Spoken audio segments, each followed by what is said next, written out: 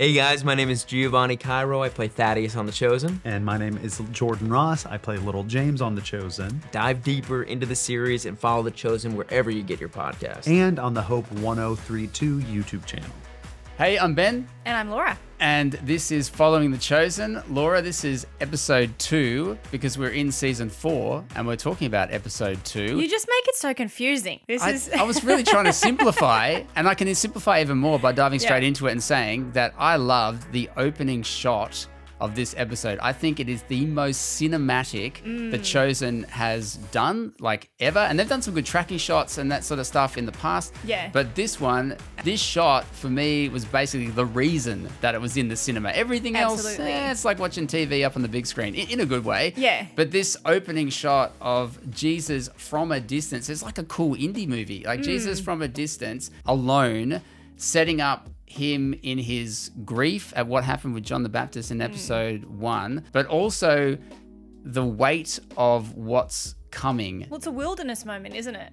You know? yes, And great what are way to gonna- put it. What are they going to do with that? And you're right, it's absolutely the most cinematic part because when I watched these in cinemas and someone asked me later, do you need to see it in the movies? Was it different seeing it in the movies because you're watching a TV show on the big screen? It took me a second to go, oh yeah, because unlike in season three with the feeding of the 5,000 and walking on water and all of that, we haven't got to what those moments might be in this season just yet. But I thought, oh no, I don't know. Like, what were the big moments? There's not And really absolutely- blockbuster moments. not yet, but that scene, Jesus in the kind of open wilderness, absolutely was the one where I went, hang on a minute. Of course, yes, that scene is the reason, among a few others, why they decided to do this on the big screen. Which for me uh, introduced a really strong episode with a lot going on, and it had already it'd been set up that way with what came before it, and this is the Mm. immediate aftermath of the beheading of John the Baptist. I should back up and spoiler alert, it's too late now. No, well, if you you've read if you've read the Gospels, you know, you know, it's been known for centuries. that He he got and if you're following The Chosen, you've probably watched The Chosen. So we assume Okay, this. I'll move on, like they attempt to do. But there's a, a lot of discussion early on about um, the rituals of grief in Mm. the in the Jewish community, and then how that leads Jesus to do something reasonably radical, it seems, and go on the road, Mm. take the disciples with him.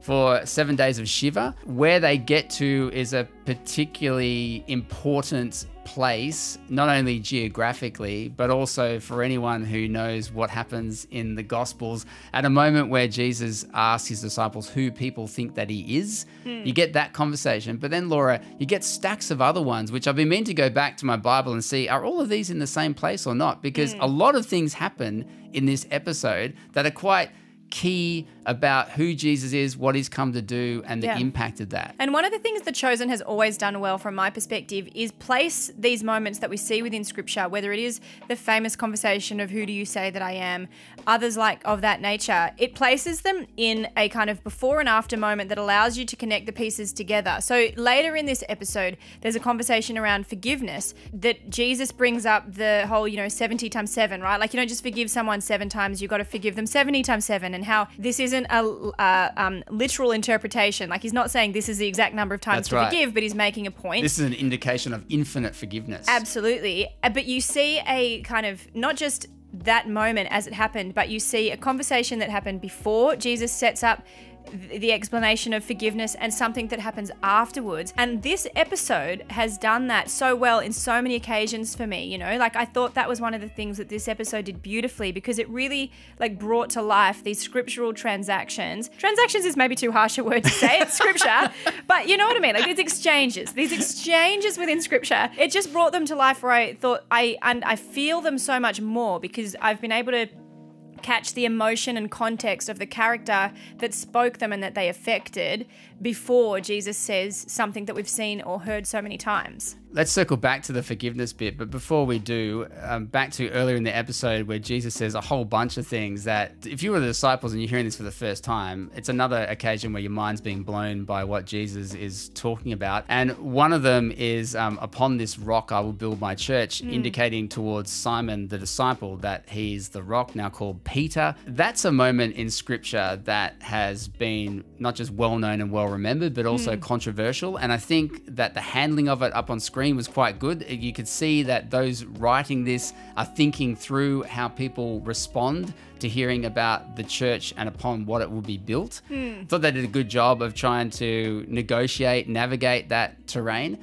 And then out of that too, you get the teaching upon uh, of, of Jesus about if you leave father, mother, whoever you leave your life behind, what you will gain, but also what you will lose or what the cost of that is. All of that in a couple of minutes up on screen. Yeah. And like you, I also felt a bit more pulse in it. I can read it in the Bible and like try to mull it over and that sort of Hmm. thing. But actually seeing Jesus, Jonathan Roumie perf- Yeah. Performing this and the other cast responding like you, Yeah. like it started to like eat into me a little bit Well- about the magnitude of what's going on here. Yeah, because I think you see it.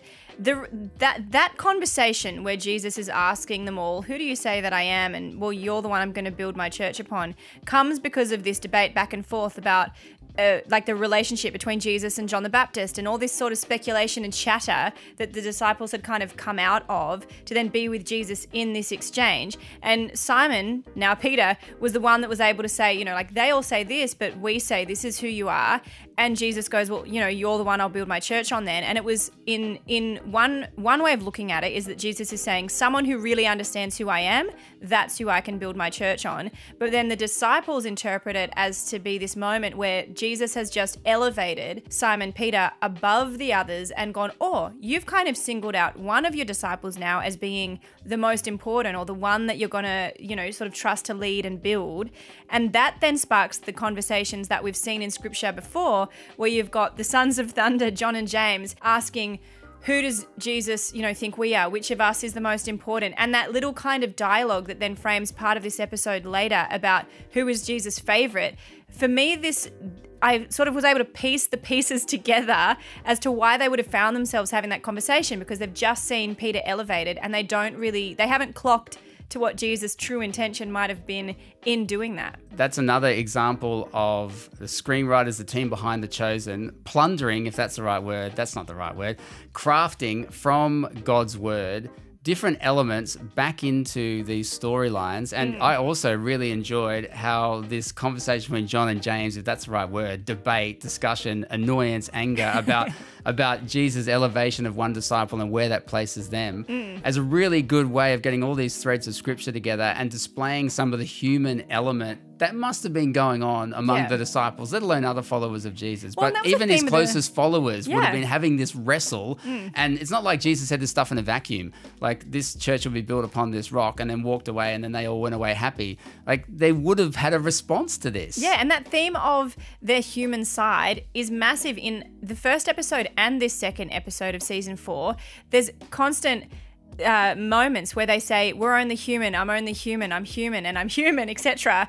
There's constant references to the humanity of these characters. And I think that was, to me, it was something that was well worth noting because that's that's true for all of us. We're humans with a level of divine experience, right? Or wanting to connect in some respect to Jesus, to uh, a sense of divinity. And so, where's the place for humanity alongside of that? And even in the conversations that James and John do have about who is Jesus' favorite, what I liked is that they're done in these really, like, those two characters bring a bit of the fun and the lightheartedness. I think sometimes when we read scripture, we can feel like it's all very, like, now let's pause and kind of deliberate about this. And it feels so serious and reflective. But the way the conversations are portrayed on screen is like we're walking down the road and we're having a chat, and who does this say? And what do you think? And I reckon I'd be the favorite. And it's very like the way that we are in our kind of casual conversations, they put that up on screen as a way for you to almost see how, even in these just day to day moments, we can find ourselves thinking things, getting a little off track, talking about stuff that isn't necessarily, you know, bringing us closer to God or like it's these simple conversations where we're losing a bit of clarity. And I think they did that really well. Like they talk about big stuff, but they do it in these kind of casual, relatable ways that makes you see it for what it really is. And even Jesus was joking at the start of the episode with Andrew during their grief period. And I mean, some people might take that as sacrilegious or like Jesus never joked, but I just don't think that's true. Like, it's not like Jesus would never have laughed and he hmm. went and hung out with people in all sorts of situations. It's not like he didn't have a sense of humor. It's not like God doesn't have a sense of humor. Hmm. So that's a good illustration, I think, in this episode of the chosen team recognizing that and bringing that in in a very relatable and understandable way. Yeah. Forgiveness has come up heaps of times in The Chosen before, hasn't it? Like I was trying to think of different examples of it. Mary Magdalene came to mind. Was it in season two or season three? But what happens in this episode, episode two of season four, was one of the most powerful forgiveness moments for me out of the chosen. Was that the mm. same for you? It felt like it's almost like we haven't talked about forgiveness and here we Yeah. are. Well, this is the forgiveness moment between Matthew and Simon Peter. Because Matthew's character, the tax collector, he was, if you remember back to season one, and I think it's part of season two, they all blur a little bit together, I'll be honest. But he was um, one of the people that was really putting pressure on Simon Peter. It was really like it was it was Simon Peter's actions that uh, Matthew was kind of critical of, and he could have ended up in prison and all of this kind of stuff before uh, Simon Peter starts to follow Jesus. And even though Matthew becomes a disciple, that is never addressed. Like, hey, I could have been the one that ended up making you, you know, get in trouble with the government. You could have gone to jail because Not of me. only did I turn against all of our people and my own family for money, but it was going to affect you and your family's livelihood, Yeah. and I almost got you tossed in jail. G'day, mate. We're And- disciples. Yeah, we're now shoulder to shoulder behind Jesus. And so there's this moment where Matthew realizes, oh, I think because of something Jesus has taught, I now need to address this. But how do I address this? And do I have to? And, you know, what are the parts of this that is uh, Simon's responsibility? What Jesus says to Matthew is really powerful, but I think too, when Matthew is able to go to Simon Peter and ask for forgiveness, and then a few bits later, because Simon Peter's not quite ready to forgive in that moment, how he then responds back to him, so powerful. And one of the lines that stood out to me, if I, you know, sum it up, is that Jesus says that when we apologize, that is us asking for repentance and that forgiveness is the gift the other person gives to you. Like, you're not, because Matthew was concerned that he wouldn't get forgiveness, and what's the point? He's going to hate me anyway, all of this sort of stuff. And it's like, we're not responsible for the forgiveness. We're responsible for asking for the apology when we're the one that's done wrong, because that's us being obedient to repenting. And then on the flip side, forgiveness becomes the responsibility of the person who's wronged, but it's their gift to give. Like, they are the one who can give it or not give it. And you can see that wrestle in Simon Peter on screen. I was almost tearing up throughout all of it. And then in the um, ultimate exchange between Matthew and Simon Peter, the way that Jesus in The Chosen handles both situations and talks about the distinctions on both sides of Yeah. who is coming and, and um, asking for, who is apologizing and even seeking forgiveness or hoping for forgiveness but can't force it. Yeah. And then the the person on the other side who's being apologized to and what and their response and their gift they might give. Hmm. And particularly in Simon Peter does a great job of demonstrating how so many people, probably yourself and myself included, can feel if you have been wronged and you know you've been wronged and the person says they're sorry wholeheartedly. Yeah. But how that can almost annoy you about Yeah. forgiveness. Like, okay, now the expectation is on me to forgive. Yeah. And the, this episode is a really good teaching case, I think, a hmm. lesson, I think, in sitting down and thinking through the complexities of forgiveness. Yeah. But also why you would, based on God's love in Jesus given to us, and why you would, would want to share that gift. That it's not Yeah. a, a heaping a weight upon you that you have to do it. It's more challenging you to think about why you would not. Yeah. And it's not easy. Like, they don't say forgiveness is easy or that asking for an apology is easy, but it's just. Uh, as you've said, a really good example of why, like why from both sides, the act of apology and forgiveness is so important. But then, of course, too, it is a setup within the context of this series for who Jesus is and ultimately the gift of forgiveness that he extends to everyone and anyone, right? Like that's part of what I feel like these little moments are leading up to is helping us get a better understanding of the higher level concept of forgiveness within the Christian faith. On that note, Laura, I am looking forward to episode three and talking with you about episode three of The Chosen. This is Following The Chosen. We hope you are following The Chosen already. Join us on YouTube, drop some comments our way. We would love to interact with you, get back to you about your thoughts on this episode, the last episode, the last season. Send us a comment. We'll get back to you in an upcoming episode. If you're joining us via podcast, hello. Make sure you subscribe, Spotify, Apple, hopepodcast.com.au. Basically, Laura, wherever Everywhere. you grab your podcast, everywhere, all Yeah. over the shop. You can follow us as we follow the chosen following Jesus. Yeah? Does that yes, sound right? Yes, it, it did. It did. I made things more complicated at the start. You just made them more simple. Thanks for joining us on Following the Chosen. We'll see you next time. Hi, my name is Vanessa Benavente and I play Mary Mother in The Chosen. Dive deeper into the series and follow The Chosen on Hope Media podcasts and on the Hope 1032 YouTube channel.